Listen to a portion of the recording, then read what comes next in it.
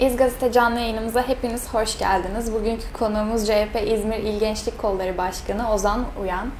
Hoş geldiniz. Hoş bulduk. Ee, isterseniz öncelikle CHP'nin gençlik örgütü hakkında konuşalım. Ee, CHP Gençlik Örgütü İzmir'de nasıl çalışmalar yürütüyor ve özellikle 31 Mart 2019 yerel seçimlerine yönelik ne gibi e, faaliyetlerde, çalışmalarda bulunuyorsunuz? Tabii. Ee, öncelikle İzmir e, Gençlik Kolları e, siyasi partiler kanunundan da olacağı şekilde e, bir komisyon niteliğinde ama partinin genel başkanımız Bülent Ecevit'in dediği gibi özgücü olan bir kurum ve e, kurgu noktasında devam ediyor. Ee, tabii bu noktada e, gençlik kollarının yaptığı etkinlikler e, il başkanlığı, ilçe başkanlıkları düzeyinde bir örgütlenmemiz var.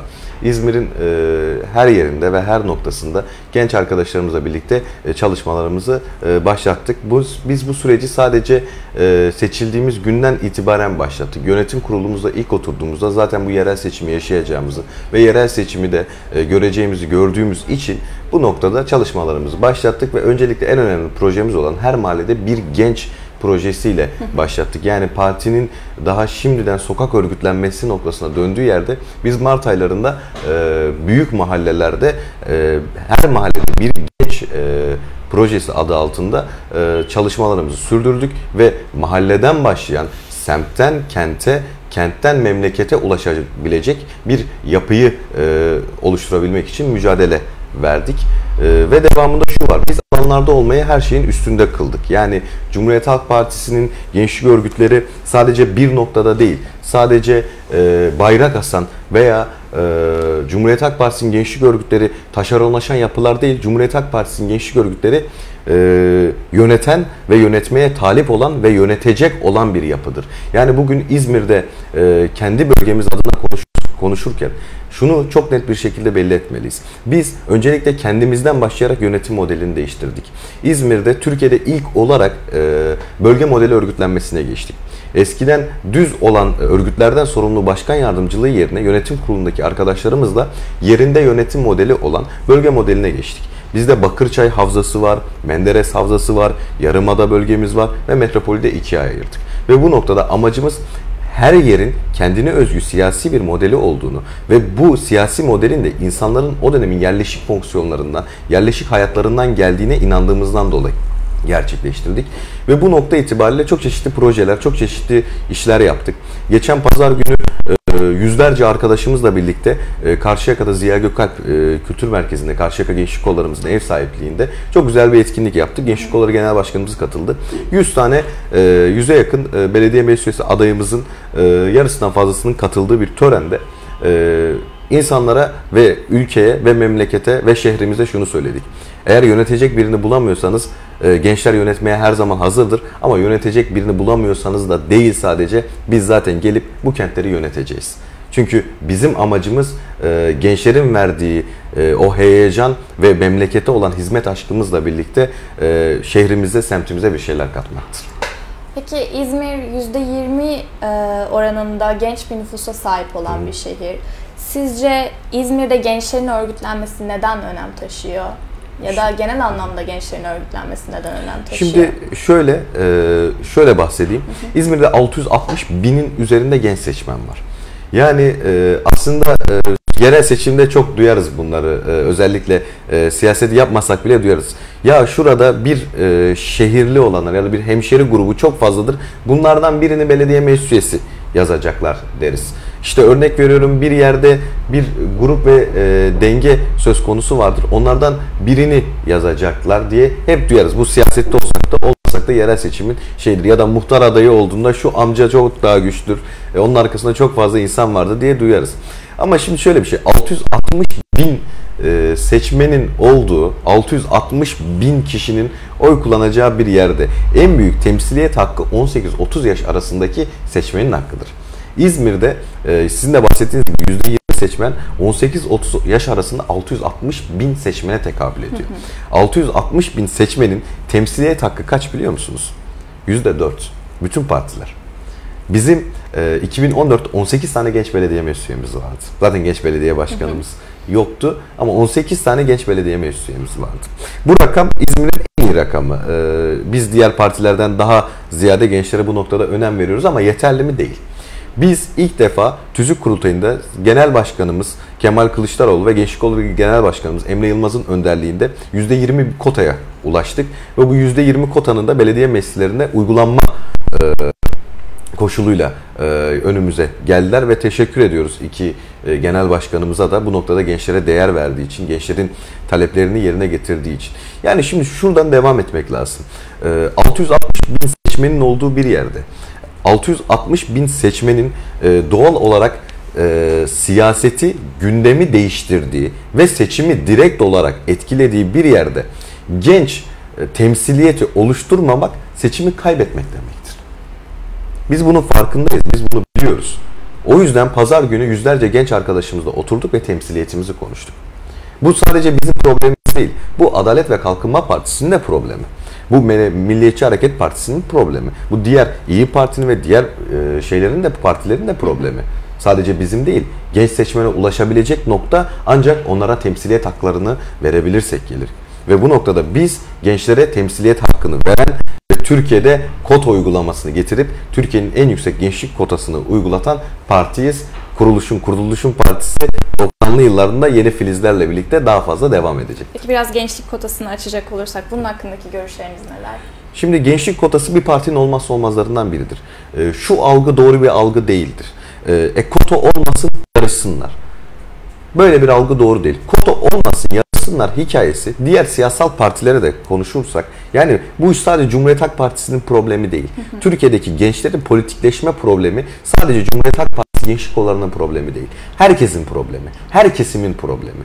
Bu sadece bizim üzerimizde bizim demokratikleşmemiz ve bizim demokratik olmamızdan kaynaklı bize daha çok soruluyor. Ve bu konuda mücadelelerin tek grupta biz olduğumuz için ondan dolayı soruluyor. Şimdi 18 yaşındaki bir belediye meclis üyesi adayını 37. sıraya, 35. sıraya, 30. sıraya yazsanız ne olur, yazmasanız ne olur? Temsiliyet hakkı var mı? Yok. Seçilmeyecek sıraya yazıyorlar. Seçilmeyecek, seçilmeyecek sıraya yazıyorlar. Bu doğru değil. Doğru olan şey gençlerin 660 bin seçmeni bugün 18 e, yaşında 41 binin üzerinde genç oy kullanacak. İlk defa. 41 bin seçmenin olduğu bir yerde 18 yaşında bir belediye meclisi olmak zorunda. Çünkü temsiliyet hakkı var. Şu an belki herhangi bir hemşire grubunun 40 binin üzerinde olmadığı bir ilden söz ediyoruz. E burada ne yapmamız gerekiyor? Gençlerin e, değerlendirilmesi ve bu değerlendirme devamında da e, listelerde yer alması için mücadele etmek gerekiyor ve bu mücadeleyi de yerine getirmek gerekiyor. Ve bu noktada biz geçen tüzük kurultayında da mücadelemizi verdik. Şimdi de mücadelemizi vermeye devam edeceğiz. Arkadaşlarımızı listeye yazdıracağız inşallah. Peki İzmir'deki genç aday adayları hakkında e, düşünceleriniz neler? İzmir'de çok çeşitli genç aday adayları var. Hı hı. E, kendi partimizden örnek vereyim. Diğer partilerden e, resmi olarak bir e, meclis üyesi ya da belediye başkanı genç bir aday olmadığı için e, bir şey söylemek doğru olmaz. E, biz bu konuda partimizin temel ahlak ve etik e, değerlerinden almış durumdayız. Yani diğer partiler gibi resmi bir aday olmadan parti içi iş meselelerine e, karışacak kadar, yorum yapacak kadar e, partimizin etik ahlakını almamış değiliz. Bu noktada ahlakımız vardır. Meclis çıkarsın. Onlar hakkında da etik ve ahlak kuralları çerçevesinde gereğini söyleriz. Şimdi devamında şunu söyleyeyim. Bizim aday adaylarımız her noktada her kesime hitap eden aday adayımız var. Bizim avukat aday adayımız var. Genç kadın avukat aday adayımız var. Bizim e, üniversite öğrencisine dokunan, üniversite öğrencisi olan aday adayımız var. Ki bu üniversite öğrencileri çeşitli bölümlere de ayrılıyor. Bölümlerden de arkadaşlarımız var. Mühendis olan arkadaşımız var. E, sanatçı bir arkadaşımız var. Bornova'da bir sanatçı arkadaşımız e, aday adayı. Dönüyorsunuz e, işçi emekçi sendikasından gelen arkadaşımız var. Dönüyorsunuz baktığınızda daha iyi irdelediğinizde örgüte emek vermiş 10 yıl boyunca örgütün sırtında taşımış arkadaşlarımız var. E şimdi baktığınızda biz herkesten aday adayı çıkarmışız. Önüne koymuşuz. E seçilecek kurullarını önüne koyacağız. Diyeceğiz ki alın belediye başkanımıza, e, belirlenecek belediye başkanımıza, il başkanımıza, o ilçenin ilçe başkanına ve e, o ilçe belediye başkan adayımızın önüne koyacağız. Kurullarımızın önüne koyacağız ve diyeceğiz ki bizim aday adaylarımız bunlar ve bu aday aday arkadaşlarımız da çok kaliteli. Hepsi birbirinden değerli, hepsi birbirinden üstün arkadaşlarımız. Bizim 3 tane genç belediye başkanı aday adayımız var. Yani umarım liselerde genel merkezin tabii nasıl bir e, kurul ve seçici noktası olacağı yakında belli olacak ve bu noktada seçililer seçilmezler önemli değil ama medeni cesaretleri ve bu işe baş koymaları her şeyden önemlidir. Devamına gelirsek belediye meclis üyesi aday adaylarımızla ilgili bu arkadaşlar kentleri yönetme noktasında o yönetecek kurullar içerisinde olursa size çok söylüyorum, çok net söylüyorum 50 yaşındaki, 60 yaşındaki ya da daha fazla e, yaşta olan e, abilerimizden, amcalarımızdan, dedelerimizden çok çok çok daha iyi yönetecekler ve bulundukları mahallenin, bulundukları semtin sorunlarına çözüm üretebilecek bir e, siyasi figür olacaklardır. Şunu söylüyorum, e, eğer belediyecilikte sosyal demokrat belediyecilik varsa da sosyal demokrat belediyeciliğin içerisinde de genç arkadaşlarımıza Cumhuriyet Halk Partisi gençlik kollarından çıkmış bir belediye meclis nasıl belediye meclis üyeliği yapılacağını herkes 2019-2024 döneminde görecek. Peki e, gençlerin talebine geçmeden önce ya da gençlerle ilgili başka bir konuya geçmeden önce önümüzdeki hafta gerçekleşmesi planlanan e, toplantı hakkında sizce geç kalındı mı adayların açıklanması için? Şimdi şöyle bir süreç var. Genel merkezimizin e, ve kurulların e, bir takdiri söz konusu. E, bu noktada e, bir şey söylemek e, çok da e, doğru değil. Özellikle genel merkezimizin e, aday açıklamasında çeşitli kendi belirledikleri kriterlerin olduğu ve bu kriterlerin de kendi görüşmeleri içerisinde olduğu söylen olduğu belirtiliyor. Bu noktada da genel merkezimiz gereği açıklamayı kurullarıyla birlikte yapacaktır.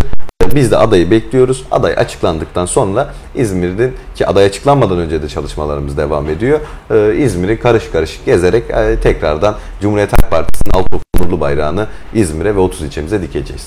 Peki şu ana kadar e, 4 ilçe adayı açıklandı. Evet. Sizce nasıl? Yani şöyle belirtebilirim. Öncelikle e, Kınık'ta Ahmet abi e, açıklandı. Ahmet Başkanımız e, çok e, naif, çok da yürekli bir insan. E, tek aday adayı, Kınık'ta ortaklaşmış diğer aday adayı e, isimlerin de altında birleştiği, süreci yönettiği bir isim. Kınık'ta e, bir 5 yıl mola vermiştik. Emanet bırakmıştık. Emaneti Ahmet Başkanımız ve oradaki ilçe örgütümüzle birlikte tekrar alıp Altıoklu Onurlu Bayrağı oraya da dikeceğiz. E, Ali Ağa'ya geldiğimizde e, Özcan Başkanımız e, kaybedildikten sonra ki bir kaza e, demek daha doğru olur.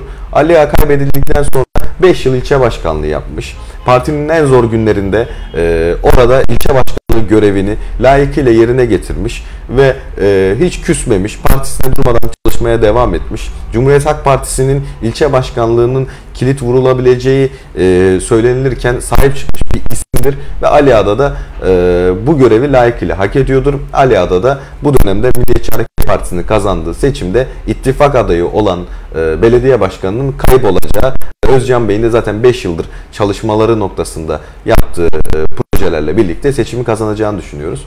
E, Kemal Paşa da aynı şekilde. Rıdvan Başkan da bir kaza unsuru olarak Kemal Paşa'da kaybetmişti. Ama mesela cumartesi günü bir program var Kemal Paşa'da. Rıdvan Başkan gençlerle buluşacak. Biz de e, orada olacağız. Baktığımızda Rıdvan Başkan'ın aynı heyecanı tekrar geri yerine getirdiği ve Kemal Paşa'yı da yürüttüğü görünüyor. E, Cumhurbaşkanı ödemiş aynı şekilde. Yani şu an açıklanan 4 adaya dayı da genel merkezin nokta atışı yaptığı, çok doğru adaylar gösterdiği, emek ve örgüt önceliğini koyduğu, e, devamında ise projelerle yapılabilirlik kalifiye noktasında kaliteli aday adaylarından seçildiğinin göstergesidir. Şu dört adayın adayına baktığımız zaman şunu çok net iyi görebiliyoruz ki İzmir'in 26 e, belediye başkan adayının da belediye meclis üyelerinde Büyükşehir Belediye Başkan adayının da bu tasnif içerisinde olacağı ve İzmir'de e, yeni gençleşen güçlü bir yapının olacağına inanıyoruz. E, genel merkezimiz bunu bize gösterdi. 4 adayı da, adayı da kayıp olan 4 ilçeyi de alacak ve İzmir'de e, Cumhuriyet Halk Partisi'nin Altıoklu Onurlu Bayla verdiğimiz emaneti geri alacağız. Ama biz şunu söylüyoruz. O 4 belediyede de çıkartılan Cumhuriyet Halk Partili işçiler çıkartıldığında biz mücadele ettik ve her zaman onların hakkını savunduk. Ama biz belediyeleri kazandığımızda AKP'li e, üyesi olan birini sadece AKP üyesi diye işten çıkarmayacağız. Genel başkanımız bunu taahhütü verdi. 105 tane arkadaşımızı işten çıkartan Ali Ağa Belediye Başkanı belediye başkanlığından gittiğinde Ki 31 Mart gecesi Altı onurlu bayrağımız Ala Belediyesi'ne dikildiğinde Cumhuriyet Halk Partili belediye olduğunu göründüğünde biz AKP'li e, kardeşlerimizi oradan işten çıkarmayacağız. Ödemiş'te çıkarmayacağız. Kınık'ta çıkarmayacağız. Kemalpaşa'da çıkarmayacağız. Ama bu hak yeme onların ömrünün sonuna kadar gidecek. Ali Ağa'da 105 arkadaşımızı işten çıkardılar. Kemal Paşa'da 300'e yakın arkadaşımızı işten çıkarttılar. Ödemiş, Kınık keza öyleydi. Ama biz onlar zalimlik yapsınlar. Biz barışı, adaleti ve demokrasiyi getirecek aday adaylarımız ve gençlik örgütlerine, iç örgütlerimize sahibiz. Peki barıştan, adaletten ve demokrasiden Tabii. bahsetmişken sizin de bildiğiniz üzere İzmir Büyükşehir Belediye Başkanı Aziz Kocaoğlu aday adaylığını duyurdu. Kendisi de aynı zamanda gençlik kolları çıkışlı bir siyasi figür. Evet. gençlik kollarının belediye başkanlığı belediye başkanı adaylarına olan bakışı ne yönde? Ee, öncelikle ilk sorunuza vereyim. Aziz Başkan aday adayı oldu. Ee, Seyit Bey, e, Genel Başkan Yardımcısı Seyit Torun ve İl Başkanımız Deniz Yücel gerekli açıklamaları yapmıştır. Ee, bunun üzerine bizim e, bir şey söylememiz e, o belirtilen kaos ortamına e, bir şey katmaktır. E, doğru olmaz. Ama şunu çok e, net bir şekilde dile getirmek e, zorunda hissediyoruz kendimizi. E, bizim demokrasi ve bu partinin 90 yıllık geleneklerinin de bize öğrettiği bir şey var. İzmir e, kimsenin değildir. İzmir ne şahıslarındır, İzmir ne bir partinindir, İzmir ne de bizimdir. İzmir, İzmir'de yaşayan 4,5 milyon İzmirlinindir. Ve hak 4,5 milyon İzmirlinindir. Cumhuriyet Halk Partisi de keza öyle. Cumhuriyet Halk Partisi de evet biz bir makamda ve görevde bulunuyoruz. Ama bu makamlar ve görevler bize iki yıllığına verilir. Ve devamında da yeni bir arkadaşımıza bırakmakla mükellefiz. Cumhuriyet Halk Partisi halkın ve altı oka inanmış milyonların partisidir. Kimsenin İzmir'de şu olsun bu olsun diyerek kişisel sorunlar üzerinden bir şey söyleyebilme noktası olduğunu düşünmüyorum. İzmirliler adayını bekliyor. Genel merkezimiz gerekli açıklamayı yaptı. İl başkanlığımız gerekli açıklamayı yaptı. Sanırım öbür haftaki gerçekleştirilen toplantıda da bir aday süreci belirlenecek. Hı hı. Ve devamında da şu süreç çok açık bir şekilde belirlenecek, aday açıklanacak. Biz de çalışmalarımıza devam edeceğiz. Ama bunun üzerine benim bir şey söylemem doğru olmaz. Kendisi 14 yıllık belediye başkanlığı yapmıştır. Evet gençlik kollarından gelmiştir. 1960 ve 70'li sanırım 70'li yıllarda gençlik kollarında bulunmuştur. Ee, tecrübeli bir isimdir. Söyleyecek de pek fazla bir şeyim yok açıkçası. Partinin genel kurullarındaki şeyi bekliyoruz, yorumları bekliyoruz. 2014 yerel seçimlerinde CHP İzmir'de %45-50'ye yakın bir oy oranına sahipti. Sizce bu yerel seçimlerde, 31 Mart 2019 yerel seçimlerinde nasıl bir orana sahip olacak? Ben e, yeni gelen seçmene e, özellikle e, şunu çok açık bir şekilde belirttim. Bizim yüzde Yeni gelen seçmen 41 bin 18 yaşına basmış seçmen yüzde bir buçuk iki arasında bir değişime sebep olacak. Devamında yeni oy kullanacak yani yeni seçmen diye sadece 18 yaşına basmış değil. E, İzmir'e taşınan seçmen de 200 bin civarında. Tabi bunların analizleri e, bizim tarafımızdan yapılmakta. Şu an net bir şey söylemek doğru olmaz. Oy analizi de yapılacak. Ama şuna baktığımızda 2014'ten beri eklenen seçmen sayısını iyi irdelememiz gerekiyor. 2014'ün koşullarını iyi değerlendirmemiz gerekiyor. Yani biz biraz şu hastalığa düşüyoruz. Tarihte de o hastalık vardı. Tarih yeri zamanında değerlendirilmelidir. Yani 2018'deyken 1500'lü yılları değerlendirmek, o koşullarla değerlendirmek doğru olmaz. Aynı şekilde de 2019'dayken 2014'ü değerlendirmek doğru olmaz aynı koşullarda ama benim tahminim %50'nin üzerinde e, Cumhuriyet Halk Partisi'nin bir e, oy oranıyla Büyükşehir Belediyesi'ni kazanacağı, belediye meclislerinde de keza bu sorunun e, çok fazla aşağıda olacağını düşünmüyorum. Ve İzmir'de de kaybedilmiş 8 ilçenin eğer bu noktada iyi adaylar gösterildiği takdirde de geri alınacağını ve İzmir'de açıkçası 30'da 30 yapmamızın hiçbir önünde engel olmadığını düşünüyorum. Şunu sormak istiyorum. Şimdi gençlerin arasında özellikle yeni oy kullanacak gençlerin arasında kafasında çok fazla e, düşünceler, çok fazla sıkıntılar mevcut.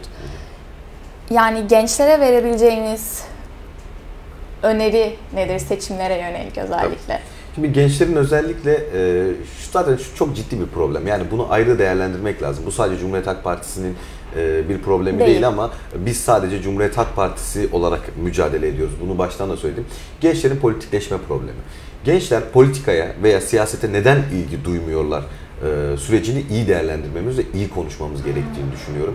E, bu süreci mesela baktığınızda e, bununla ilgili çalışma yapan tek örgüt Cumhuriyet Halk Partisi. Kimse bununla ilgili bir çalışma yapmıyor. Baktığınızda e, neden politik olmuyor? Neden siyasete girmiyor? Baktığınızda siyasette gençler gezi sürecine siyasete girdiğinde siyasette biz de varız, biz apolitik değiliz, biz buradayız dediğinde hı hı. E, şunu belirtmişti. E, bir mizah problemi olduğunu, bir iletişim problemi olduğunu ve gençlerin aslında büyükler kavgacı, gençler barıştırıcı. Yani eski şöyle derler ya normalde gençler kavga eder, büyükler barıştırır diye. Bence tam tersi. Gençler barıştırıcı, gençler bir iletişim istiyor ama büyükler kendi e, kişisel noktasında bir anlaşmazlık içerisine giriyor. Bunun en temel sebebi Adalet ve Kalkınma Partisi iktidarı. 16 yıldır ülkede bir tane üniversite gencine yönelik doğru düzgün yaptıkları iş yok. Yurt yapıyorlar, yurtların zaten cemaatlerin elinde olduğunu buradaki İz, İzmir değil Türkiye'deki bütün herkes biliyor. Cemaatlere yurt teslim ediyorlar. Çıkıyorlar KYK'yı 400 480 liraya çıkardıklarını süreci götürüyorlar. Evvel evvel evvel çıkarttılar. Çocuk 480 lirayla 3 gün geçinemiyor. Eskiden 180 lira veriliyor veriyorlardı. Çocuk onunla bir ay geçiniyordu. Üniversite öğrencisi bir ay geçiniyordu. Hı hı. Şimdi 480 lirayla 3 gün geçinemiyor. Neden? Bunu araştırabiliyorlar mı? Yok biz 480 lira 500 lira para veriyoruz. İşte insanlara para vermekle de bir e, süreç gelişmiyor. E, liselerin ortam, o, liselerin durumu ortada. E, uyuşturucunun yaşının kaça düştüğü ortada. Bununla ilgili hiçbir çalışma yok. Biz çok iyi hizmet ettik diyor. Bir tane de step ne bulmuşlar yanlarına. Onlar da her şeyi söylüyorlar. Evet evet evet diye bir süreç yürütüyorlar. Bu devran dönecek. Önce yerelde sonra genelde bu devran dönecek. Bizim gençlere söylediğimiz şu an. Şu an e, İzmir Türkiye'nin göz bebeği. Nam neyse çok girmek istemiyorum. E, 31 Mart gecesi Zeybek değil Çamlak Çömlek oynayacak bir belediye başkan adayı e, İzmir e, mahallenin en güzel kızı demişti. Hı hı. E, İzmir e, bir cinsiyetçi tavır e, sergilemişti. Hı. İzmir bir göz bebektir. İzmir e, bütün 81 illerin arasında bir göz bebektir ve İzmir'de e, bir yaşam rahatlığı vardır. İzmir'de kimse sen osun, sen busun, sen şu düşüncedesin, sen şu mikro milliyettesin, sen şu inanca sahipsin bir ayrım. bir ayrım yapmaz. Kordonda bir aile çekirdek yerken bir e, sevgililer de el ele tutuşabilme özgürlüğüne sahiptirler. Aynı şekilde Karşıyaka'da, aynı şekilde e, Narlıdere'de, aynı şekilde Seferihisar'da, aynı şekilde Dikili'de, aynı şekilde Kınık'ta, Ödemiş'te. Bu noktada hiçbir ayrım ve hiçbir süreç söz konusu değildir. İzmir demokrasinin ve özgürlüğün başkentidir. Ama İzmir demokrasinin ve özgürlüğün başkenti ise siz burayı pazarlayamazsınız. Bize burayı pazarlattırmazlar. Siz burayı pazarlamak istiyorsanız öncelikle öncelikle buranın insanların dokusunu anlamanız gerekiyordur. Pazarlama kültürü burada yoktur. Burada anlaşma ve Böklüceli Mustafa'nın yarattığı ortaklaşma kültürü vardır. Bu ortaklaşma kültürüyle bir şeyler devam eder. Bu noktada genç arkadaşlarımıza bizim söyleyebileceğimiz en önemli şudur. Sosyal demokrat ve halkçı belediyeciliğin devam etmesidir. Biz sosyal demokrat ve halkçı belediyeciliği devam edeceğiz. Bizim çok güzel belediyelerin etkinlikleri var. Tabi çok şu an yandaş medya bunların hiçbirini vermez. Karşıyaka Belediyesi e, her apartman bir öğrenci okutuyor diye burs veriyor öğrencilere. Karşıyaka'nın filizleri. Projesi var. Bu çok güzel bir proje. Dönüyorsunuz Çalkaya, Mehmet Ali Çalkaya, Balçova'da e, 18 yaşına basmış üniversite öğrencilerine inanılmaz bilgisayar yardım ve çeşitli yardımlarda bulunarak yardım ediyor. Gençlere verilmiş e, Buca'da bir e, gençlik Buca ve Bornova'da gençlik evet. merkezleri var. E, her yerde Büyükşehir Belediyesi'nin yarattığı hizmetler var. Yeterli ya da yeterli değil bunlar tartışılır. Ama yani dönüp de Adalet ve Kalkınma Partisi'nin 8 belediyesinde ne konuştu ya da gençlerle ilgili ne yaptığını söylerseniz 5 yılda hiçbir şey yapmadılar. Yani e, çok açık söyleyeyim. E, Kiraz'a e, belediye binası yerine veteriner hekimliği e, binası getirip üniversite yapmak demek, üniversiteyi Kiraz'a getirmek demek değildir. Orada üniversite öğrencisinin yaşayabileceği alanı ve üniversite öğrencisine yapılabilecek konut ve farklı bir yaşam alanı kurgulamaktır. Bunların taktiği her zaman bu. Türkiye'nin 81 ilinde üniversite yarattılar ve şu an yaptıkları hatanın bedelini ekonomide ödüyorlar. Çünkü milyonlarca üniversiteli e, diplomalı işsiz yarattılar evet. bu ülkede. Yani bu yüzden şunu söyleyebiliriz. Torbalı Belediyesi. 5 yıldır Torbalı Belediyesi var. Bir tane istihdam alanı yaratmış mı? Torbalı ilçeler arasında Türkiye'de en çok vergi veren ilimiz. Bir tane bir tane istihdam alanı yaratmışlar mı? Kemalpaşa Belediye Başkanı. Kemalpaşa Belediye Başkanı 24 Ocak geliyor. Kemalpaşa Belediye Başkanı gençlerle yaptığı bir tane etkinliği düzenlesinler. Ancak piknik yapıyorlar. Pikniği zaten herkes yapıyor. İnsanlar da piknik yapıyor. Ancak piknik yapsınlar. Gençlere bir tane özelliği yok. Hem bunları devam ettirebilirsiniz. Selçuk. Selçuk'ta Zeyn Zeynel Başkan hı hı. E, üniversite üniversite hocasıydı. Yerel yönetimlerde hocasıydı 9 Eylül'de. Ne hizmet yaptı? Selçuk'ta üniversite öğrencisini, Selçuk'ta e, öğrenciyi sadece üniversite öğrencisi olarak değerlendirmek de doğru değil. Mahallede oturan gençler için ne yaptı? Hiçbir şey yapmadı.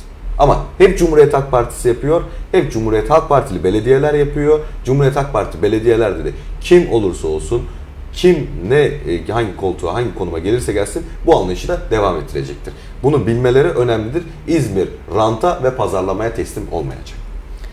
Peki hazır İzmir İl Gençlik Kolları Başkanı ile beraberken sizce İzmirli gençlerin en büyük talebi ne İzmir'de? İzmirli gençlerin en büyük e, talebi bir kere e, şu çok önemli. İzmir'de gençlerin tabi e, bunu tek bir talep olarak değerlendirmek hı hı. doğru değil. Farklı farklı grupların talepleri var. Yani burada e, mahallede yaşayan genç arkadaşlarımız ben açıkçası semt kültürüne inanıyorum. Hı hı. Semt kültürüne önem veriyorum.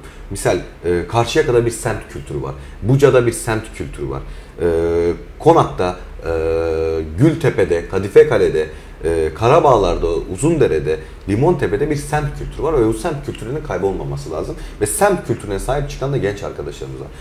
Bunların iki talebi var. Bir semt kültürlerini yaşatmak istiyorlar. iki istihdam alanı istiyorlar. Üniversiteli genç biraz daha farklı e, sebepte farklı bir hayat ve daha rahat e, üniversite öğrenimi geçirebileceği için daha rahat bir yaşam ve burs ve yurt imkanı bekliyor. E, devamında e, yeni gelmiş 18 yaşına bas, basmış seçmen e, hayat bunalımında o 41 bin arkadaşımız hayat bunalımında ve İzmir'den ayrılmak istemiyorlar.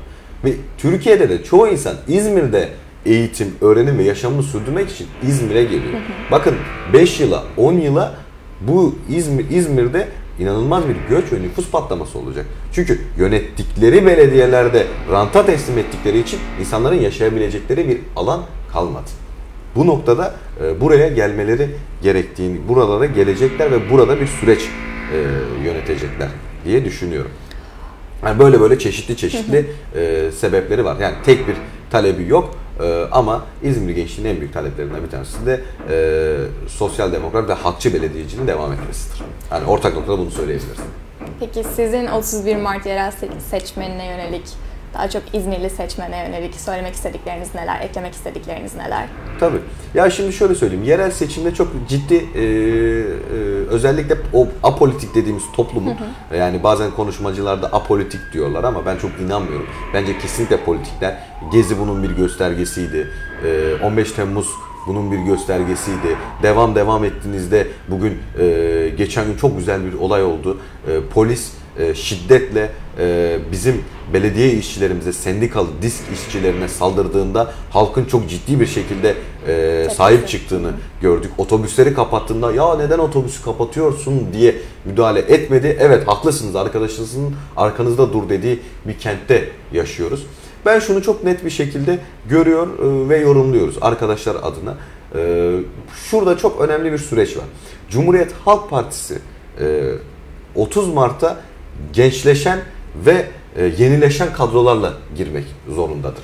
Bunun da geçen gün bir milletvekilimiz, İzmir milletvekilimiz Mahir Polat bir şey söyledi. Ee, gençleşen ve yenileşen bir e, kadro olması gerektiğini söyledi. Kesinlikle buna katılıyorum. Gençleşen ve yenileşen bir kadronun daha fazla e, öne çıkması lazım. Yani bu bizim belediye başkanlarımızın yaş ortalaması elinin üstü değil, 40'larda olmalıdır. Yani bugün toplumun belirlediği, toplumun e, bizden beklediği şey bu. Çünkü bakın çok açık söyleyeyim, dünyanın hiçbir yerinde e, dünyanın hiçbir iktidar değişiminde ve özellikle sol iktidarların değişiminde gençler olmadan bir değişim mümkün değil. Bakın Margaret Thatcher e, bu dönemki Adalet Partisi gibi, Adalet ve Kalkınma Partisi gibi e, bir sağ muhafazakar partinin uzun yıllar başbakanlığını yaptı. Ve Tony Blair e, bu noktada bir e, iktidara gelirken seçilecek noktada genç seçmen yaptı. Aynı şekilde İsveç'te Olaf Palme. Aynı şekilde geri döndüğünüzde Willy Brandt Almanya'da. Çok uzağa gitmeyelim. Sarkozy gibi bir belayı Frances Holland e, Fransa'da genç listelerde gençlerin varlığı ve e, yükselmesiyle geçti. Son döneme geldiğimizde işte yani hiç uzağa gitmeyelim. 1962'de bir Gençlik Kolları Genel Merkez Yönetim Kurulu üyeleri vardı. Bunlar 1969'da Cumhuriyet Halk Partisi asil ana kademe MYK üyeleri oldular. Bunlar 1970'li yıllarda Türkiye Cumhuriyeti Bakanlar Kurulu oldular. Ve hepsi 30 ve 35 yaşları arasında bu makam ve görevlere geldi ve en iyi şekilde yaptılar. Ve hala da şu an siyasetin dizaynında ve siyasetin e, oluşmasında çok önemli etkenler yapıyor. Çok uzağa gitmeyelim. Ee, Siriza Yunanistan'da yanı başımızda. Ee, İspanya'da genç bir lider var. Dönüyorsunuz Macron 36 yaşında. Yani artık e, dünya yenileşiyor ve gençleşiyor. Daha yeni Angela, Angela Merkel e, bir değişiklik yapıp genç bir kadına e, bu görevi bırakmak noktasına kaldı. Biz niye eskilerdeyiz ki? Biz neden hala tecrübeli isimlere ya da abi formüllerine ihtiyaç duyuyoruz ki? Bize abi değil, bize kardeş ve yoldaş lazım.